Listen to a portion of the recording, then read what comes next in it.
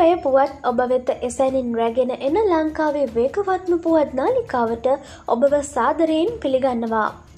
පුද්ගලික ඉල්ලීම් ඉටි නොවූ පිරිසක් රජය අසාර්ථකයයි යන මතය ජනගත කරන්න උත්සාහ කරනවා. ජනපති ජාතිය අමතමින් ප්‍රකාශ කරයි.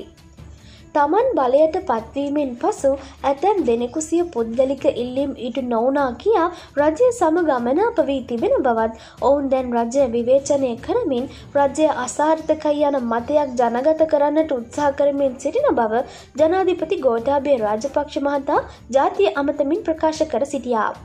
මෙහිදී වැඩිදුරටත් අදහස් දැක්වූ ජනාධිපතිවරයා මෙසේ ප්‍රකාශ කර සිටියා. අපට සෞභාග්‍ය උදාකරගත හැක්කේ නිසි සැලස්මක් ඇතිව වෙහෙස වී වැඩකිරීමෙන් පමණයි. ලංකාවේ ඉතිහාසය ලියවෙන විට අප මේ ගත කරන කාලය මොනතරම් දුෂ්කරද යන්න සඳහන් වේවී.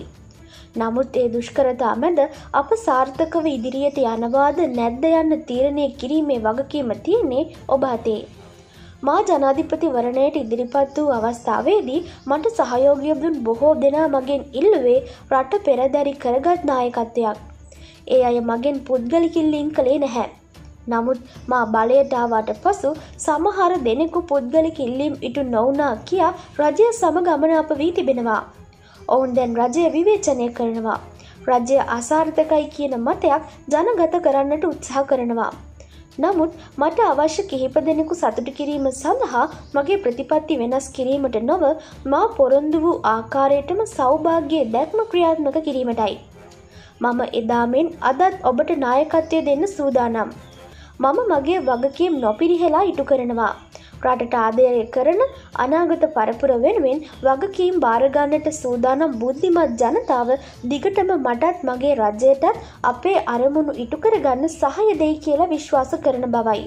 මෙහිදී ජනාධිපතිවරයා වැඩිදුරටත් අවධාරණය කර සිටියේ.